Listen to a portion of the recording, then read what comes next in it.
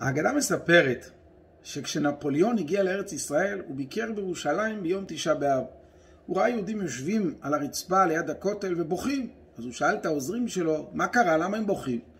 אמרו לעוזרים, הם בוכים, מבכים את חורבן בית המקדש. שאל נפוליאון, אני לא שמעתי בחדשות שנחרב איזה בית מקדש. אמרו לו, לא, זה לא קרה עכשיו, זה קרה לפני אלפי שנים. נפוליאון השתומם, הוא אמר, מה? יהודים עכשוויים בוכים בגלל משהו שקרה לפני כל כך הרבה זמן, יש להם צער אמיתי בגלל ההיסטוריה? מובטחני שאנשים שכל כך מחוברים לעבר שלהם, יש להם גם עתיד, והם יזכו לבנות את בית המקדש מחדש. לכן עם ישראל מאוד קשור להיסטוריה. רבי יוחנן בן זכאי בגלל זה התקין שניטול ידיים לפני שאוכלים לחם. כדי שנזכור את הנטילה שהכוהנים היו עושים בבית המקדש לפני שעשו קורבנות, שאכלו תרומה וכולו. שתמיד יהיה לנו משהו מוחשי מול העיניים לזכור את בית המקדש. מסביר הרבי מלובביץ' שבעצם יש פה יותר עומק מהנושא הזה. כי כתוב בפרשתנו, פרשת תרומה, ועשו לי מקדש ושכנתי בתוכם. לא כתוב בלשון יחיד בתוכו, בבית המקדש היה בירושלים, אלא בתוכם, לשון רבים, בתוך כל אחד ואחד.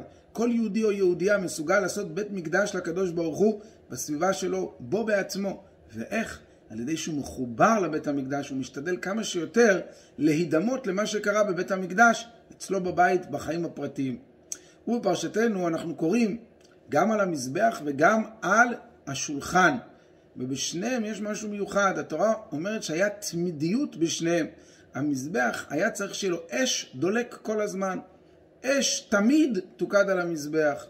ובשולחן גם כתוב את המילה תמיד. ונתת על השולחן לחם פנים לפניי תמיד. תמיד היה צריך להיות לחם על השולחן. אבל היום אין לנו לא את המזבח ולא את השולחן. אז איך מקיימים את הנושא של תמיד, את התמידות? מסביר הרבי שיש שני פסוקים שמופיע בהם המילה תמיד. האחד, שיוויתי השם לנגדי תמיד. יהודי תמיד צריך לזכור שהקדוש ברוך הוא רואה אותו, נמצא בסביבתו.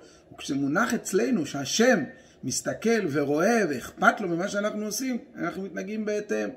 הדבר השני שכתוב תמיד, זה מצווה גדולה להיות בשמחה תמיד.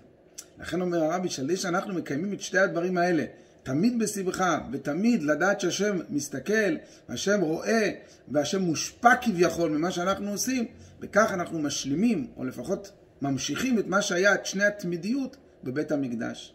בהשגחה פרטית אנחנו התחלנו את חודש אדר, היה לנו ראש חודש ביום שלישי ורביעי, ובראש חודש, באדר אנחנו יודעים שכתוב מי שנכנס אדר מרבים בשמחה. אז על ידי שאנחנו נהיה בשמחה, נזכה לשני דברים, גם נמשיך את התמידיות של בית המקדש, וגם נזכה שעל ידי השמחה, השמחה פורצת גדר, נזכה לביאה של משיח צדקנו, לגאולה האמיתית והשלמה, תכף ומיד ממש. שבת שלום.